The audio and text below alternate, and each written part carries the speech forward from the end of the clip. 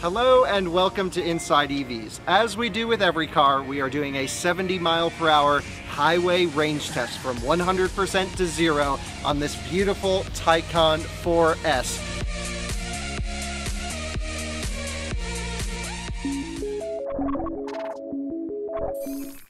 This Taycan 4S is brand new. It has less than a thousand miles on it, so the battery is freshy fresh, so we can extract as much energy as possible out of it. What we're doing now is we're charging it up to 100% on an Electrify America DC fast charger. And what that will do is it's gonna heat up the car, it's gonna get everything nice and toasty so we can cruise at 70. Now, this car is at 98% state of charge. It's still doing 19 kilowatt, which is pretty good. So once it completes at 100%, we're gonna get everything set up in our normal driving range. We're gonna lower the car all the way, put it in eco mode, run air conditioning at uh, a general comfortable temperature, let's say 72 to 74 degrees on auto, as we do with every car. Tire pressures have been set to manufacturer suggested pressures. And this is the one interesting thing about this Taycan, the wheels. These are the largest wheels you can option. It's actually a $5,000 option. They're 21 inch wheels. They're 300 section tires in the rear, really wide things. So it's gonna be interesting to see what the 4S can do with the big wheels. And then in the future, we'll be testing another Taycan on the little baby wheels, the Aero wheels, and we'll see how big of an impact it has. So for now, let's let it complete up to 100%. We'll get all of our settings correct in the car and we'll go out on 70 miles an hour in a loop style test and end up here dead. Okay, we have just completed charging at 100% state of charge and uh, we have the car set up. So we're gonna run range mode, which lowers the suspension all the way. We're gonna run air conditioning normally, like I said.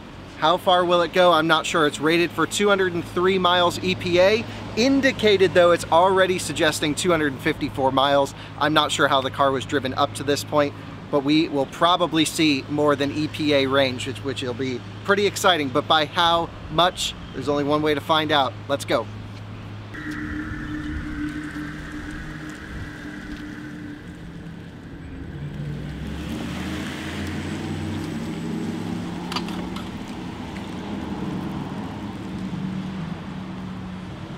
So I've selected Eco instead of Eco Pro on air conditioning, and that's just because in Eco Pro, I don't actually think it runs the temperature. So 74 is reasonable. It's 75 degrees Fahrenheit outside. We are just about to head out of here, and uh, let's go now, now that I got it all set properly. The highway's right over here. We're gonna jump on, set it at 70, and uh, do a loop style test as we always do. So, time to go. This will be pretty cool as we do with every car, as soon as we merge onto the highway, I check our GPS rated speed and 71 miles per hour is 70 GPS. So this car is a little optimistic by one mile per hour at 70. Totally fine. We're gonna run this test at an indicated 71. And once we get past this section, there'll be no cars. We won't have any aero advantage. We don't wanna follow trucks. We don't wanna follow cars. We just wanna run on flat ground all by ourselves. There is an option that this car does not have and that's called InnoDrive. And Porsche InnoDrive is its lane centering adaptive cruise control driver assistance systems. So this car has adaptive cruise control which is great. It has lane departure warning but it does not have active lane centering. So I'm having to keep the car in the lane which is no problem. If you if there's any car you want to drive it's the Taycan. And um, yeah 71 miles per hour we're pegged and let's see how it does. I'm going to tell you some facts about Taycan, some things that will help it in this particular test. And of course, we'll have a full review and other things coming on Taycan. So this is purely about the range. We're not talking build quality, driving dynamics, other things that make this car so special. And I think one of the best electric cars in the world, uh, at least to drive. Now, Taycan is one of the first production EVs, at least mass production, to use an 800 volt system architecture. I believe it's like 790 or something like this when it's full charged. And what that means is uh, purely just the battery pack voltage is higher. It allows for uh, faster charging at lower current rates because, uh, of course, volts times amps equals current. So if you have an 800 volt system versus a 400 volt system, you can charge it with the same current twice as fast. You You also have uh, what's pretty cool is the benefit of smaller cabling and wires, so it leads to lighter weight. But this is no lightweight vehicle at all. This is a heavy car. Um, and those are really the two interesting things about Taycan battery per se. It also has really good motor technology, two-speed transmission in the rear. Uh, when we go into range mode, the car's mostly primarily front-wheel drive, uh, so it's using that more efficient front motor. And um, yeah, so far we're getting almost three miles per kilowatt hour, which is not bad, really not bad at all. And uh, considering the weight and size and performance of this car and the 21 inch wheels, that's the big kicker here. This one has the big, big wheels. So yeah, 252 miles still projected on our range. We're very early on. We've only driven 8.5 miles. I am excited to see how far it goes. I'm not sure, but I know it's going to be over 200 miles. It has to be. With a battery pack that's 93.4 kilowatt hour at 3 miles per kilowatt hour, oh yeah, we are way over 200 miles of range. Again, 93.4 isn't usable. It's a little less than that, but still a significant amount. Also have no wind. So this is about as good as it's gonna get for a Taycan 4S with 21 inch wheels. Right now, we have done 37 miles, 37.1 miles into the test, and we have 3.1 miles per kilowatt hour, which is pretty good efficiency, way more than I was expecting actually. And the car is still predicting 230 miles of range. And let's just take a look at our battery percentage. We're at 88% and it's still pre predicting way more than EPA rated, and we've already used 12% of the battery. Man, this car is gonna go pretty far. Are just reaching our turnaround point. We're at 83%, so we are gonna be doing this loop quite a few times. And look at this, we're at 83% and we've done 54 miles. This thing's on track to do almost 300 miles of range. Of course, we'll see when we go back, uh, you know, it could always be a little bit more efficient heading this way than going back. That's why we do the loop style tests. So we're just gonna U-turn it and head back up the highway and keep this up. So far driving the Taycan is amazing. Even without InnoDrive, this car tracks so straight. It's set up so well from the factory that you almost just don't need it on a flat, straight road. Pretty amazing. We are now gently accelerating back up to 70 miles per hour. The thing is, if you accelerate hard, you end up uh, burning off a little bit of heat in the electronics. So we're gonna set the cruise control at 71. There we go. And we're back to go in the other direction. I cannot believe how well this car is doing compared to its EPA range. We all knew Taycans would do better, but we have done 54.8 miles and the car is still projecting 215 miles of range which is more than EPA rates this car in a full charge. Now, what EPA does is they probably rate the car, and of course, they're mixed driving, but also in the key up setting. When you turn on the car, the car starts in normal. One of the benefits of range mode is lowering the car all the way down and using just the front motor.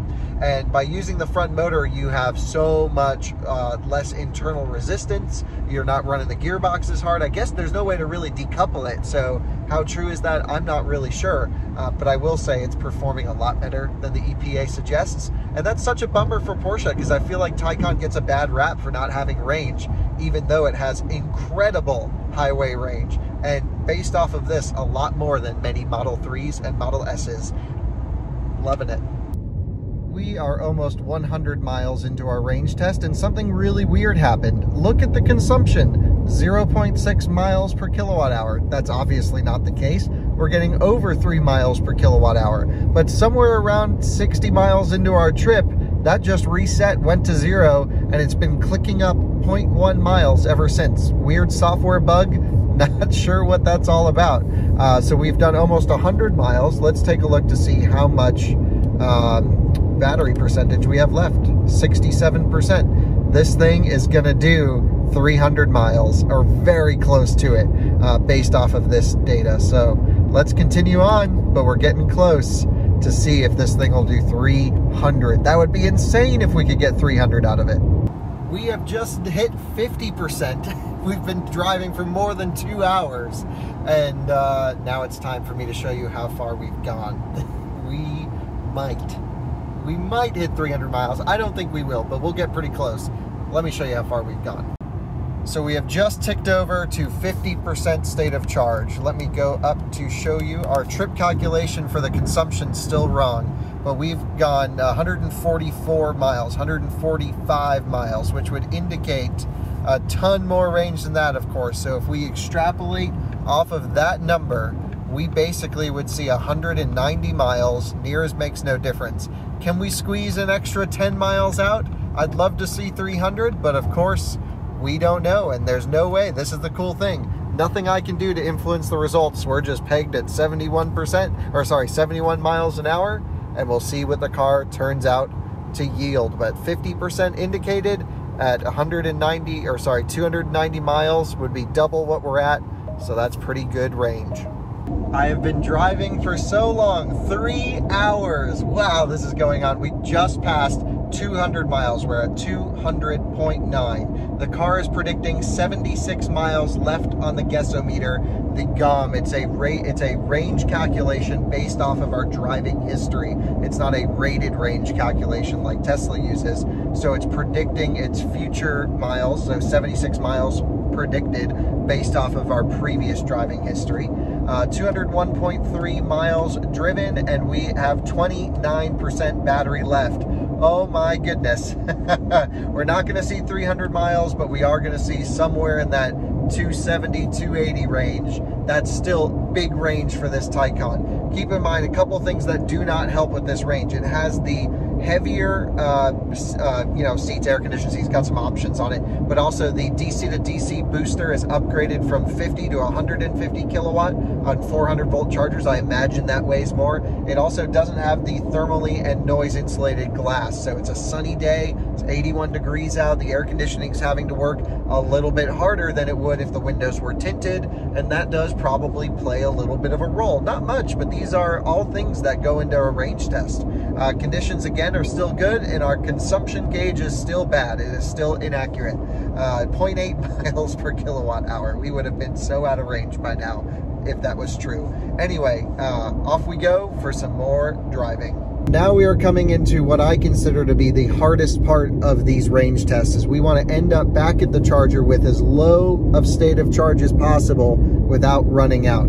And so what I've done is I've programmed in the Electrify America station at Sheetz that we always start our range test at, of course, recently, and it's predicting an 8% arrival. Now, I don't know how far up the next exit is, but I'm going to risk it and I'm going to go. And now if that 8% says minus one, then we'll be in trouble. Uh, but I think we should be able to be good. These exits are spaced a few miles apart. And then what we can do is we'll take that exit and then up closer to the charger, the exits are in closer proximity. So I can always drive past the charger and then pick the correct exit to get back there with almost no range. Then of course, when we pull off the highway, we are going to drive around on back roads uh, at maybe 55, 60 miles per hour as we totally drain the car to completely dead. It's how we run every range test. But of course, I'll tell you what the mileage is that we pull off the highway with. And we are choosing this exit. The car thinks we won't be able to make it back without charging, although it is showing a 6% arrival. So we're gonna take this exit, get back closer to the charger, and then determine which will be our final loop. But we are finally nearing the end of this test man, this car just kept going and going and going. As we are accelerating up gingerly, we don't want much heat loss, back up to 70 miles per hour. So 71 miles per hour was like 70.8 GPS. So what I've been doing for just the last few miles, uh, I'd say the last 30%, is I've been running the car at 70 miles per hour just to get it back to an average of exactly 70. You know, plus or minus, close enough. And so you can see our destination is right at the edge of the rim there. And uh, we'll probably have to go up one exit or two, and that should be it. But I think we picked the correct turnaround. And we just had a notification, please monitor range. And so I guess I clear that by clicking OK. Thank you very much, Porsche. We have just crossed 1,000 miles on the Taycan 4S. This was a fresh, fresh car. And uh, it was fun letting it hit its first milestone with a range test for Inside EVs. How about that? All right, we are still continuing. Our projected arrival is now up to 7%. We've gone 240 miles with 38 still projected. Uh, so like I said, we'll probably end up in that 270, 280 range. We're gonna push it a few exits past the charger and then head back. It's getting pretty close. And man, I am just blown away by the efficiency that we've seen so far, especially with these wheels. We are now at 10% state of charge. The car is predicting 27 miles remaining, so that puts us, you know, again, confirms that 270 mile prediction. We've driven uh, 252.8 miles. Uh, I reached out to some Taycan experts, so did my friend Brandon, and we asked, you know, what is the ramp down? I have never run a Taycan down to zero before, so is there a usable buffer? Are we going to see a power limit? And that's how we'll know it's out because a lot of times you can't just go off miles remaining. However, just like the Audi e-tron, the Porsche Taycan will pretty much shut off right when you get to zero, so they say. We have a 1% predicted arrival, 8 miles projected left, and we've done 271.1 miles. So will we see 280? I don't know, but we'll probably at least see 279. Um, we're about four miles left on the highway, and then I'm going to burn off the remaining four miles on the back roads, which should probably be a little bit better efficiency. So we'll probably just touch 280 is my guess. Now, I learned a little bit more as well about the Taycan ramp down. It's very similar to e-tron. So when it hits zero, it pretty much gives you a power limit, shuts off, and it won't let you move, and it basically dies. Then you just turn the car off, let pack voltage creep up just for a second. Same thing that I did with the e-tron, and then it will kick back on and give you just a burst of power to park the car somewhere safe. It doesn't last very long. So we're gonna try not to hit that buffer, uh, but we are gonna get it all the way down until it says zero miles, and zero is truly zero. That's when Porsche shuts off the car from being used. So we run it down all the way. We get every last drop of juice on these range tests, and uh, we'll only have a few more minutes left to go here. This has been four hours and eight minutes in the making, our longest range test to date, and so far our longest distance that we have done. And here we go, taking the exit. Let's take a look at how many miles we have used. Uh, so this would be, come on, get away, all these notifications. 274.7 miles at 70 miles per hour. We are pulling off the highway with, let's see how much battery percentage, 2% remaining, and we're gonna burn the rest off here on the back roads. This is so impressive. I can't even begin to tell you how impressed I am with the range of this 4S. It's crazy. I think everyone is excited to see how far this goes on a charge. We have like 10 people here, but I'm just gonna burn it off on these back roads, continue to do the loop, and we're gonna make sure we pull in completely dead. I was able to do one more loop and we're just finishing up. We're at 0% state of charge. We have to accelerate because there was a car, but I guess they've turned.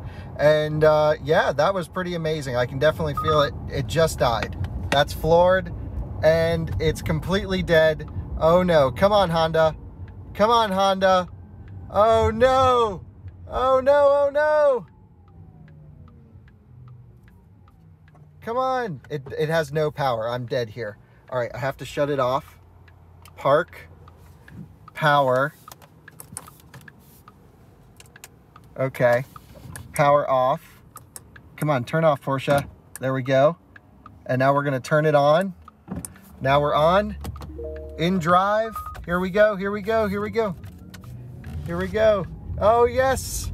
Okay, we did it. It's restarted. I had to flash that guy because we cut in front of him. And here we go. Pulling in at the 350 kilowatt. And we have finished up our test. We have pulled in, the car died on the street. I turned it off, turned it back on, gave us a burst of power, died again pulling in here and uh, we've achieved 277.9 miles cruising at a 70 mile per hour constant. Really good conditions, blowing past the EPA range of 203 miles. And look at all the people here to see the Taycan get here at 0%.